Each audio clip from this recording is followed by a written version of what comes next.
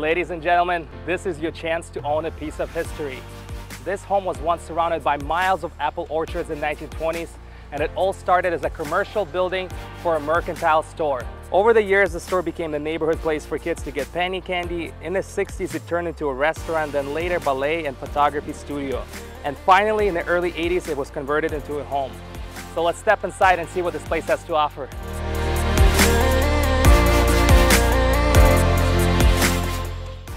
Absolutely love the loft feel of this main level.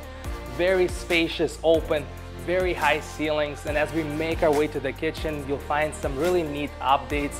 We got granite countertops, stainless steel appliances, and also this historic, amazing wow factor stove. Just check this thing out.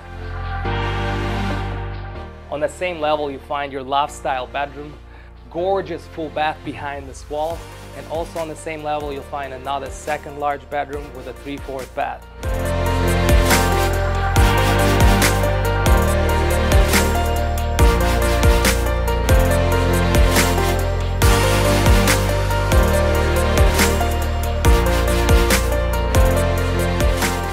As we make our way downstairs, you'll find large family room. You'll also find two non-conforming bedrooms that could be used as storage space, workout room, or an office space, whatever you put your mind to.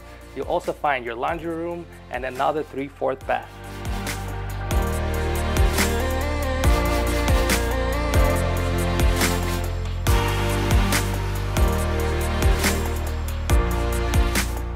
One of my favorite parts about this very unique home has got to be this double fenced in yard. You can enjoy your privacy here of your master suite on this patio and this newly finished deck or on the other side of the fence where you got a whole another chain link fence for your pets or kids to run around and you also have space to add a garage if that's something that you need to have.